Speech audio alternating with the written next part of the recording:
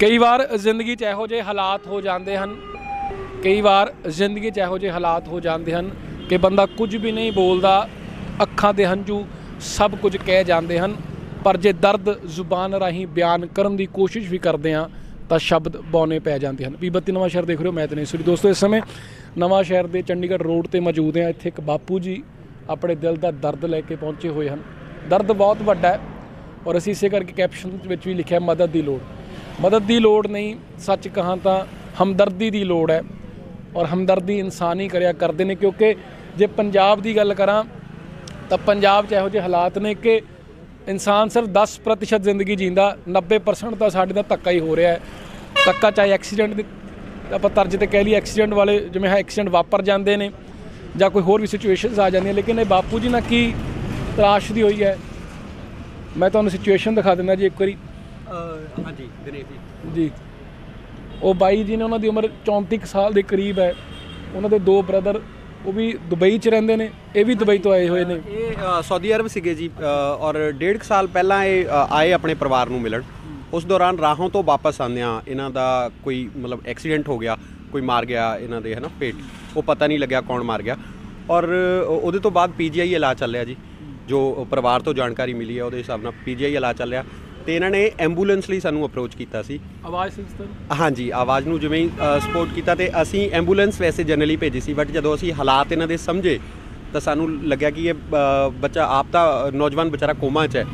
ਤੇ ਇਹਨਾਂ ਦੇ ਦੋ ਬੇਟੀਆਂ ਨੇ ਤੇ ਪਰਿਵਾਰ ਦੇ ਹਾਲਾਤ ਜਿਹੜੇ ਨੇ ਆਰਥਿਕ ਤੌਰ ਤੇ ਬੜੇ ਨਸਾਜ ਨੇ। ਪੀਜੀਆਈ ਤੋਂ ਇਲਾਜ ਚੱਲ ਰਿਹਾ ਤੇ ਇਹਨਾਂ ਦੀ ਜਿਹੜੀ ਗੱਡੀ ਅੱਜ ਅਸੀਂ ਭੇਜੀ ਸੀਗੀ ਬਟ ਤੁਹਾਨੂੰ ਪਤਾ ਹੈ ਐਂਬੂਲੈਂਸ ਚਲਾਉਣ ਲਈ ਵੀ ਖਰਚਾ ਹੁੰਦਾ। ਤੇ ਆਵਾਜ਼ ਆਪਣੀ ਵੱਲ ਤੋਂ ਹਰ ਮਹੀਨੇ ਲਗਭਗ 30 35 40 ਹਜ਼ਾਰ ਰੁਪਇਆ ਸਿਰਫ ਐਂਬੂਲੈਂਸਾਂ ਨੂੰ ਰਨ ਕਰਨ ਲਈ ਦਿੰਦੀ ਹੈ। ਬਟ ਫਿਰ ਵੀ ਜਿਹੜਾ ਮਿਨੀਮਮ ਖਰਚਾ ਸੀ ਜਿਵੇਂ ਹੀ ਦੇਖਿਆ, ਤੇ ਅਸੀਂ ਦੇਖਿਆ ਕਿ ਨਹੀਂ, ਇਹ ਜ਼ਰੂਰਤਮੰਦ ਨੇ। ਤੇ ਆਪਣੀ ਵੱਲੋਂ ਸਾਡੇ ਵਲੰਟੀਅਰ ਜਿਵੇਂ ਸਾਡੇ ਯੂਕੇ ਤੋਂ ਭਾਗ ਸਿੰਘ ਜੀ ਆਏ ਹੋਏ ਨੇ, ਇਹਨਾਂ ਨੇ ਵੀ ਦੇਖਿਆ ਜਾਂ ਹੋਰ ਤੁਸੀਂ ਸਾਰਿਆਂ ਨੇ ਦੇਖਿਆ। ਤੇ ਸਭ ਨੇ ਆਪਣਾ ਕੰਟਰੀਬਿਊਸ਼ਨ ਦਿੱਤਾ ਤੇ ਅਸੀਂ ਪਰਿਵਾਰ ਨੂੰ ਵੀ ਆਪਣੀ ਵੱਲ ਤੋਂ ਕੁਝ ਆਰਥਿਕ ਸਹਿਯੋਗ ਪਾਇਆ ਤੇ ਐਂਬੂਲੈਂਸ ਵੀ ਫ੍ਰੀ ਦਿੱਤੀ ਹੈ। ਲਗਭਗ ਮਤਲਬ ਇਹ ਸਾਰੇ ਵਲੰਟੀਅਰ ਨੇ ਜਿਹੜੇ ਪੈਸੇ ਪਾਏ ਨੇ ਤੇ ਉਹਦੇ ਨਾਲ ਅਸੀਂ ਐਂਬੂਲੈਂਸ ਵੀ ਫ੍ਰੀ ਦਿੱਤੀ ਹੈ। ਇਹਨਾਂ ਦੇ ਪਿਤਾ ਜੀ ਨੇ ਇਹਨਾਂ ਦੇ ਧਰਮ ਪਤਨੀ ਹੈ ਤੇ ਮਤਲਬ ਅਸੀਂ ਤਾਂ ਇਹੀ ਅਪੀਲ ਕਰਾਂਗੇ ਵੀ ਜਿੰਨੇ ਵੀ ਦਾਨੀ ਨੇ ਇਹਨਾਂ ਦਾ ਨੰਬਰ ਵਗੈਰਾ ਜਾਂ ਸਭ ਕੁਝ ਆਵਾਜ਼ ਟਰਾਂਸਪੇਰੈਂਟ ਸਿਸਟਮ ਨਾਲ ਦਿੰਦੀ ਰਹਿੰਦੀ ਹੈ ਤੇ ਅਸੀਂ ਪੋਸਟ ਵੀ ਪਾ ਰਹੇ ਹਾਂ। ਸੋ ਜਿੰਨੇ ਵੀ ਲੋਕ ਇਹਨਾਂ ਦੀ ਮਦਦ ਕਰ ਸਕਦੇ ਅਸੀਂ 10 ਵੀ ਦਿੰਨੇ ਜੀ ਨੰਬਰ ਦੱਸ ਦਿਓ। ਨੰਬਰ ਮੈਂ ਤੁਹਾਨੂੰ ਹੁਣੀ ਜਿਵੇਂ ਇਹਨਾਂ ਦਾ ਨੰਬਰ ਹੈ ਜੀ 84277 40879 8427740879 ਹੈ ਨਾ ਤੇ ਅਗਰ ਕੋਈ ਵੀ ਇਹਨਾਂ ਦੀ ਹੈਲਪ ਕਰ ਸਕਦਾ ਕੋਈ ਵੀ ਦਾਨੀ ਸੱਜਣ ਇਹਨਾਂ ਦੀ ਹੈਲਪ ਕਰ ਸਕਦਾ ਪਿੰਡ ਇਹਨਾਂ ਦਾ ਧਰਮਕੋਟ ਹੈ ਨੇੜੇ ਮੇਰੇ ਹਿਸਾਬ ਨਾਲ ਕਰਿਆਮ ਹੈ ਜੀ ਤੇ ਜੋ ਵੀ ਹੈਲਪ ਕਰ ਸਕਦੇ ਹੈ ਉਹ ਜ਼ਰੂਰ ਕਰਨ ਤਾਂ ਕਿ ਇਲਾਜ ਕਣੀ ਕੋਈ ਨੌਜਵਾਨ ਜਿਹੜਾ ਵੈਸੇ ਕੋਮਾ 'ਚ ਨੇ ਔਰ ਤੁਹਾਨੂੰ ਵੀ ਪਤਾ ਕੋਮਾ ਡਿਪਾਰਟਮੈਂਟ ਕੀ ਕਹਿੰਦਾ ਜੀ ਪੀਜੀਆਈ ਕਹਿੰਦਾ ਜਿਵੇਂ ਹਜੇ ਟਾਈਮ ਲੱਗੇਗਾ ਸਿਰ ਦੀ ਇੱਕ ਹੱਡੀ ਉਹਨਾਂ ਨੇ ਕੱਢ ਕੇ ਪੇਟ 'ਚ ਰੱਖ ਦਿੰਦੇ ਨੇ ਉਹ ਤੇ ਕੋਮਾ ਵਾਲਾ ਤੁਹਾਨੂੰ ਪਤਾ ਹੈ ਕਿ ਲੰਬਾ ਪ੍ਰੋਸੈਸ ਚੱਲਦਾ। ਸੋ ਡੇਢ ਸਾਲ ਤਾਂ ਇਹ ਹੋ ਹੀ ਗਿਆ ਔਰ ਇਲਾਜ ਲਗਾਤਾਰ ਚੱਲ ਰਿਹਾ ਹੈ। ਦੋ ਬੱਚੀਆਂ ਨੇ ਇਹਨਾਂ ਦੇ ਜਿਹੜੀ ਮੈਂ ਇੱਕ ਦੇਖ ਰਿਹਾ ਜੀ ਮੂਵਮੈਂਟ ਬਿਲਕੁਲ ਵੀ ਨਹੀਂ ਹੈ। ਹਾਂਜੀ ਉਹ ਬਿਲਕੁਲ ਕੋਮਾ 'ਚ ਨੇ ਜੀ। ਉਹਨਾਂ ਨੂੰ ਕੋਈ ਵਿਚਾਰੇ ਨੂੰ ਉਹਨੂੰ ਨੌਜਵਾਨ ਨੂੰ ਤਾਂ ਕੁਝ ਪਤਾ ਹੀ ਨਹੀਂ ਹੈ ਹੈਨਾ? ਸੋ ਪਰਿਵਾਰ ਜਿਹੜਾ ਹੈਗਾ ਉਹ ਬੜਾ ਆਰਥਿਕ ਤੌਰ ਤੇ ਸਟਰਗਲ ਕਰ ਰਿਹਾ। ਸੋ ਹੁਣ ਬਾਪੂ ਜੀ ਨਾਲ ਗੱਲ ਕਰ ਲਈ ਬਾਪੂ ਜੀ ਤੁਹਾਡਾ ਬੇਟਾ ਹੈ ਜੀ। ਮੈਂ ਤੁਹਾਡੇ ਦਰਦ ਨੂੰ ਸਮਝ ਸਕਦਾ ਜੀ। ਡੇਢ ਸਾਲ ਤੋਂ ਇਹ ਸਿਚੁਏਸ਼ਨ 'ਚ ਨੇ? ਡੇਢ ਸਾਲ ਹੋ ਗਿਆ ਜੀ ਇਹਨੂੰ। ਸ਼ਹਿਰ ਨੂੰ ਗਿਆ ਸੀਗਾ ਟਿਕਟ ਦਾ ਪਤਾ ਕਰਨ ਬਾਹਰੋਂ ਆਇਆ ਸੀ ਕਹਿੰਦੇ ਦੁਬਾਰਾ ਜਾਣਾ ਸੀ। ਬਸ ਪਤਾ ਨਹੀਂ ਇਹਦੇ ਵਿੱਚ ਕੀ ਲੱਗਾ। ਬਸ ਉਹਨਾਂ ਕਿੱਥੇ ਦੇ ਐਕਸੀਡੈਂਟ ਹੋਇਆ ਕਿੱਥੇ ਸੀ? ਰਾਹੋਂ ਹੋ ਗਿਆ ਸੀ ਸਟੇਸ਼ਨ ਦੇ ਕੋਲ ਨੂੰ। ਅੱਛਾ। ਜਿਹੜਾ ਰਾਹੋਂ ਰੇਲਵੇ ਸਟੇਸ਼ਨ ਹੈ। ਸਾਨੂੰ 7:30 8 ਵਜੇ ਰਾਤ ਨੂੰ ਪਤਾ ਲੱਗਿਆ ਬਈ ਉਹਨੂੰ ਰਾਜੇ ਦੇ ਭੇਜ ਦਿੱਤਾ ਜਾ ਸੱਟ ਲੱਗੀ ਹੋਈ ਆ। ਡੇਢ ਸਾਲ ਤੋਂ ਇਦਾਂ ਹੀ ਇਦਾਂ ਹੀ ਕਰ ਰਹੇ ਸੀ ਜ਼ਿਆਦਾ ਅਸੀਂ ਫਿਰ ਰਾਜੇ ਨੇ ਥੋੜਾ ਇਲਾਜ ਕਰਕੇ ਭੇਜ ਦਿੱਤੇ ਪੀਜੀਆਈ। ਪੈਸੇ ਨਾ ਹੋਣ ਦੇ ਕਾਰਨ। ਪੈਸੇ ਬਹੁਤ ਲੱਗੇ ਹੋਣੇ ਹਾਲੇ ਤੱਕ ਵੀ ਡੇਢ ਸਾਲ 'ਚ।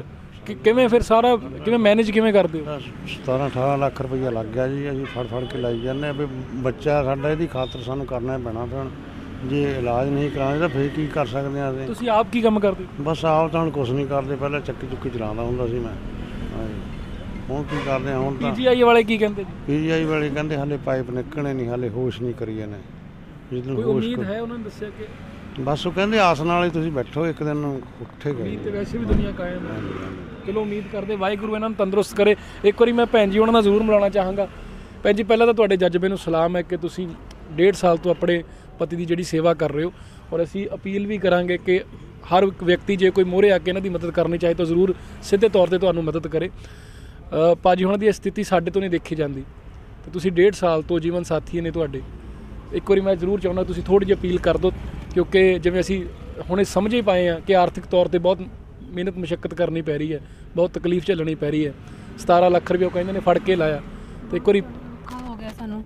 ਪੜ੍ਹ ਕੇ ਅਸੀਂ ਬਹੁਤ ਪੈਸਾ ਇਹਦੇ ਤੇ ਲਾ ਦਿੱਤਾ ਆ। ਦੋ ਬੱਚੀਆਂ ਆ ਮੇਰੀਆਂ ਇੱਕ ਤਾਂ ਮੇਰੀ ਬੱਚੀ ਚੌਥੇ ਸਾਲ ਚ ਆ ਇੱਕ ਮੇਰੀ ਬੱਚੀ ਸਾਲ ਚ ਆ। ਇੱਕ ਸਾਲ ਦੀ ਹੋਈ ਆ। ਉਹਨਾਂ ਨੂੰ ਤਾਂ ਇਹਨਾਂ ਨੂੰ ਤਾਂ ਅਜੇ ਪਤਾ ਵੀ ਨਹੀਂ ਕਿ ਮੇਰੀ ਬੱਚੀ ਹੋਈ ਆ ਕਿ ਨਹੀਂ। ਇਹਨਾਂ ਦਾ ਪਹਿਲਾ ਐਕਸੀਡੈਂਟ ਹੋ ਗਿਆ ਸੀ ਬੱਚੀ ਬਾਅਦ ਵਿੱਚ ਹੋਈ ਆ। ਹਾਂਜੀ। ਅਜੇ 6 ਸਾਲ ਸਾਡੇ ਵਿਆਹ ਨੂੰ ਹੋਏ ਆ। ਵੱਡੀ ਬੇਟੀ ਫਿਰ ਦੇਖਦੀ ਹੋਣੀ ਆ ਫਿਰ। ਹਾਂਜੀ ਬਹੁਤ ਦੇਖਦੀ ਆ। ਇਹਨਾਂ ਨੂੰ ਪਾਪਾ ਪਾਪਾ ਕਹਿ ਕੇ ਬੁਲਾਉਂਦੀ ਪਈ ਆ। ਬਹੁਤ ਮਨ ਨੂੰ ਸੱਟ ਲੱਗਦੀ ਆ ਕਿ ਉੱਠ ਖੜੇ। ਇੱਕ ਵਾਰੀ ਪਾਪਾ ਹਾਕ ਮਾਰ ਲਵੇ। ਸਿਰਫ ਬਾਹਰੋਂ ਆਏ ਸੀ ਆਪਣੀ ਬੱਚੀ ਦੀ ਖਾਤਰ ਵੀ ਮੇਰੀ ਬੱਚੀ ਦੇਖਦੀ ਆ। ਉਹਨਾਂ ਨੂੰ 6 ਮਹੀਨਿਆਂ ਦੀ ਸੀ ਜਦੋਂ ਇਹ ਬਾਹਰ ਛੱਡ ਕੇ ਚਲੇ ਗਏ ਸੀਗੇ। ਹਾਂਜੀ ਹੁਣ ਜਦੋਂ ਇਹ ਬਾਹਰੋਂ ਵਾਪਸ ਆਏ ਸੀਗੇ ਤਾਂ ਉਹ ਥੋੜੀ ਵੱਡੀ ਹੋ ਗਈ ਸੀਗੀ। ਤਾਂ ਉਹਦੇ ਨਾਲ ਆਂਦੀ ਨਾ ਪਿਆਰ ਬਹੁਤ ਪਾ ਲਿਆ ਸੀਗਾ।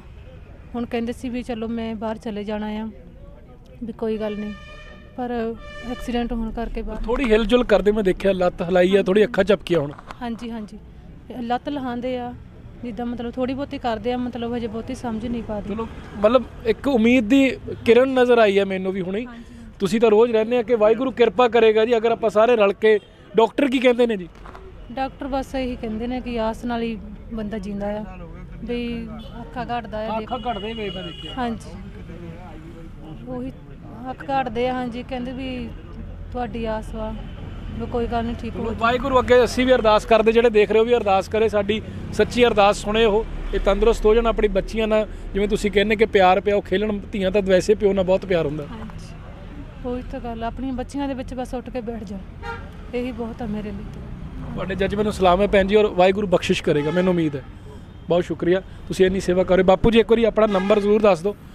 ਤੁਸੀਂ ਇਹਨਾਂ ਨੇ ਜੀ। ਬਜ਼ੁਰਗ ਜਿਹੜੇ ਨੇ ਮੈਨੂੰ ਲੱਗਦਾ ਕਿ ਸ਼ਾਇਦ ਉਹ ਹਜੇ ਮਤਲਬ ਨੰਬਰ ਵਗੈਰਾ ਦੱਸਣ ਵਾਲਾ ਕਿਉਂਕਿ ਇਹ ਤਾਂ ਇਹਨਾਂ ਨੇ ਨੰਬਰ ਇਹਨਾਂ ਦਾ ਦੱਸ ਰਹੇ ਹਾਂ ਅਸੀਂ। ਨੰਬਰ ਇਹਨਾਂ ਦਾ ਹੀ ਹੈ ਜੀ। ਨੰਬਰ ਹੈ 8427740879 84277 40879 ਜੀ।